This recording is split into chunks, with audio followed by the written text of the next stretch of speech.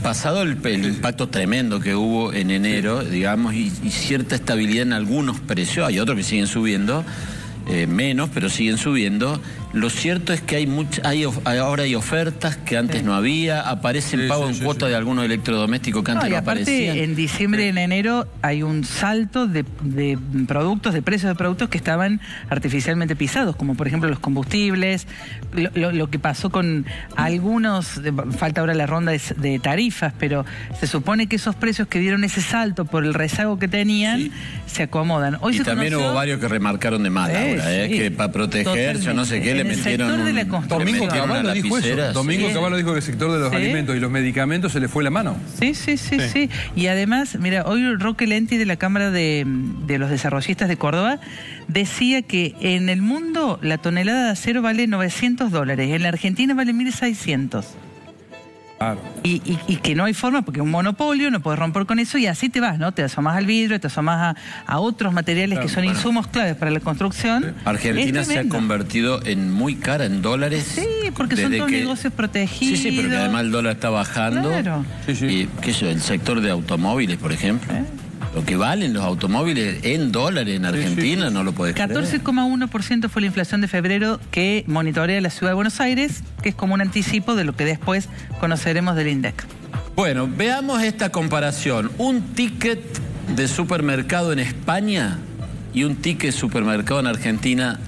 Le voy anticipando que la diferencia entre un sueldo de normal en España y uno de acá es Es bastante distinto, grande. sí, pero uno es un país sin inflación y acá estamos una inflación altísima. Bueno, veamos. Me encuentran en el súper porque venimos a hacer un relevamiento de precios, pero esta vez no vamos a relevar solamente los precios, sino que vamos a comparar cuánto salen ciertos productos de la canasta básica en Argentina y cuánto salen en un supermercado en España. Vengan, vamos a relevar. Por ejemplo, en Argentina, un aceite de un litro sale 1.750 pesos, lo que equivale a un euro con 62 centavos. En España, el mismo producto se consigue a un euro con 55 centavos. Y si vamos a hablar de un producto básico de la canasta, también tenemos que ver el precio de la harina que sale 780 pesos, lo que equivale a 77 centavos de euro. En España, el mismo producto se consigue a 70 centavos de euro. Y seguimos relevando precios en Argentina y, por ejemplo, para tener en cuenta, un kilo de arroz sale 2.650 pesos, lo que equivale a 2 euros con 64 centavos. En España se consigue a 1 euro con 27 centavos. Y del arroz pasamos a los fideos, donde un paquete de 500 gramos sale 1.450 pesos, es decir, un euro. En España, el mismo producto se consigue a 82 centavos de euro. Y producto básico, si lo hay dentro de una canasta, es la leche, que un litro en Argentina sale 1.900 pesos, es decir, un euro con 88 centavos. En España se consigue a 91 centavos de euro. Época escolar, la merienda de los chicos y otro producto básico tiene que ver con el yogur que lo podemos conseguir a 470 pesos, es decir, 46 centavos de euro. En España, el pack de 6 se consigue a un euro. Y para los sanguchitos no puede faltar el pan. Tamaño chico, 315 gramos, 2.700 pesos, es decir, 2 euros con 67 centavos. En España, ese mismo pan se consigue a 68 centavos de euro. Y el pan va con manteca, 200 gramos de manteca, 2.000 pesos, es decir, 1 euro con 98. En España, la misma manteca se consigue a 1 euro con 90 centavos.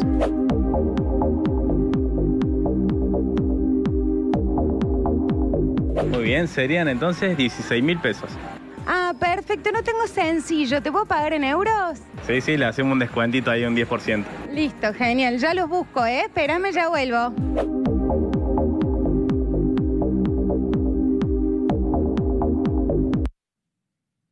¿Y cuánto es el ticket final? 16 mil pesos. ¿Y el, lo en euro cuánto es? No, eh, pero, pero el punto es los salarios, ¿no? El, salario mil promedio en. España es de 2.200 euros. ¿Promedio? Salario promedio en España, 2.200 euros. Sí, sí, acabo de ver nota del año diciembre del 23. ¿Promedio, estás seguro? Porque lo- los mil euristas eran, que son los que ingresan, digamos, que ganan mil euros de entrada. Y en la Argentina, 350 euros. Si lo pasás a euros, ¿no? Son Sí, sí, sí. 350 mil pesos el salario promedio, contando informales, formales y demás. Entonces vos tenés cosas que valen el doble, el triple y hasta el cuádruple. Vimos recién en el caso de la leche. Sí. Y tenés salarios que son el 15% de lo que es en Bueno. España. Sí. En, eh, A ver, en esos países hay, una, hay un detalle que no es menor. Pueden vivir, y del vamos lo hacen, en lugares más pequeños incluso que los que se pueden vivir acá en Argentina, porque, claro, la, poca tierra comparada con la que hay en Argentina, con lo cual las, unidades de vivienda son más, más chicas en general. caras.